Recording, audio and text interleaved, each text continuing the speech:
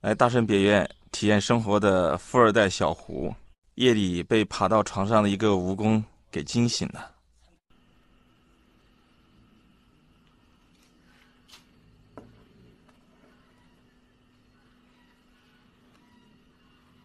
爬爬到这里，什么东西啊？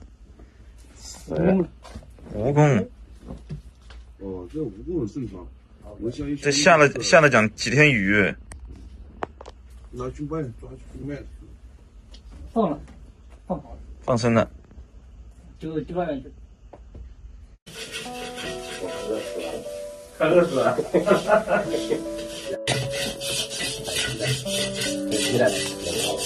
能够在院子里面坚持一两个月，确实是不容易。像这里吃也吃不好，睡也睡不好，是什么原因能够让你坚持这么久？无忧无虑，什么烦恼都没有了，就是这种感觉。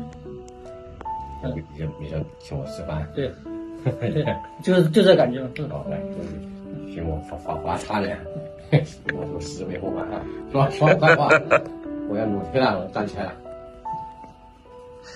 桃子，做人不能往回来。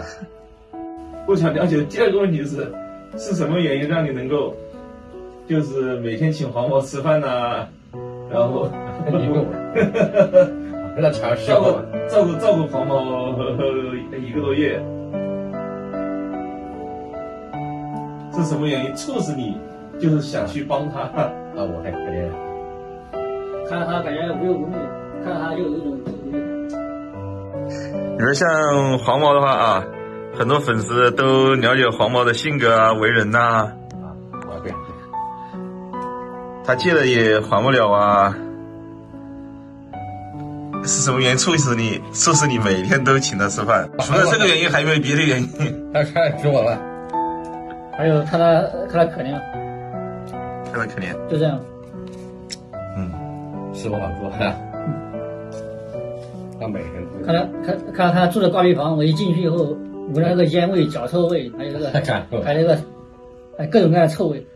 看他看他还住在里面，我觉得很神奇。嗯，所以我就想帮他一下嘛，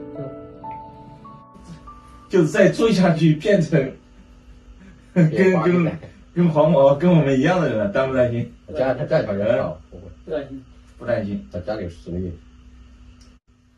唯一让你觉得就是觉得欣慰的，就是你刚才说的是啥呀？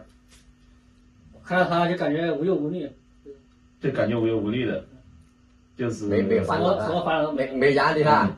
然后你也觉得自己好像也也也无忧无虑的，没有烦恼了。对，是可以可以，我每天陪他聊天，不要说话。看来我们是要多拍一些正能量、快乐的事情，让粉丝看到了，让粉丝看到了放松、快乐，是吧？嗯。多拍一些快乐的故事。